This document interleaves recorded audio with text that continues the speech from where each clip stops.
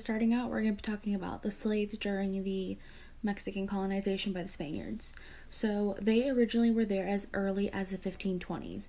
Over the approximate 300 years that it lasted, uh, the slave trade brought over 200,000 slaves to the colony. It wasn't until 1829 when the institution abolished the leaders of the new independent nation of Mexico. Uh, they were mainly used for the silver mines as well as the silver plantations.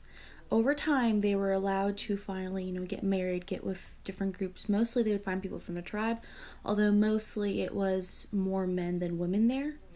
Uh, during the time, this is when they slowly started to mix with the Spaniards. And this is where you get the next section of the group, which are the mulatos and the mestizos, um, but just the mixture of the slaves. So the death rates were high, unfortunately, um, again because of what had happened, but for the most part, their spirits were never broken. For part two, more information on my Facebook page. The natives didn't fare off much better.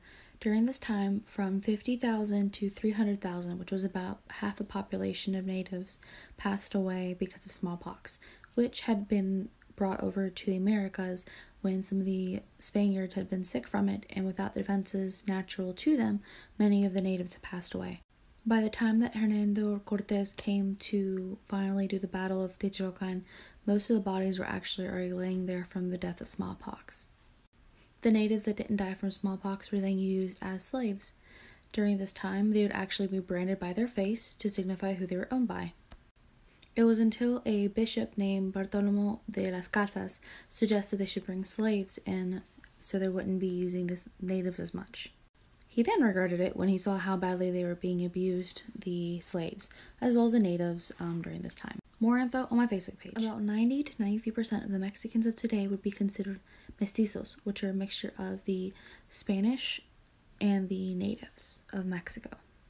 The reason the numbers are so high is because during the time the Spaniards would force themselves on the native women and would then obviously have children from them.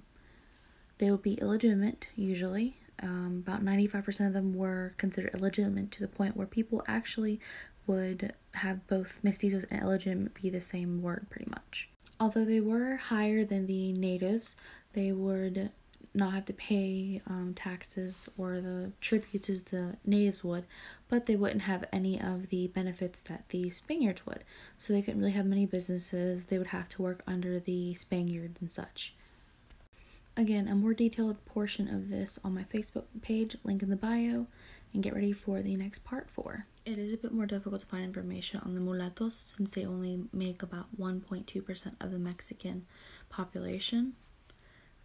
Mainly in the beginning, it was a mixture of the Spaniards with slave women that they would force themselves on, as well as they did with the natives. And then later on, a mixture of the same people that were the offspring of the forced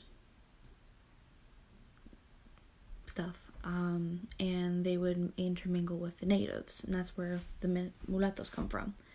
Uh, they are still, as of right now, since 2015, trying to differentiate their culture from regular, not really regular, but like more common known Mexico.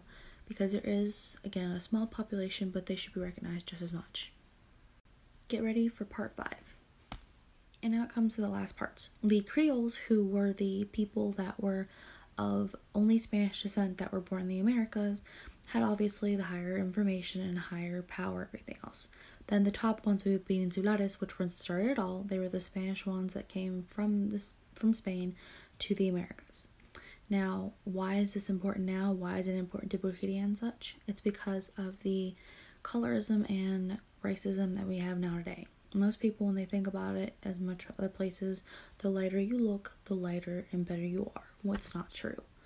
Um, many of the natives that are still alive are punished and do not have the same rights as everyone else in the US, in Canada, and in Mexico.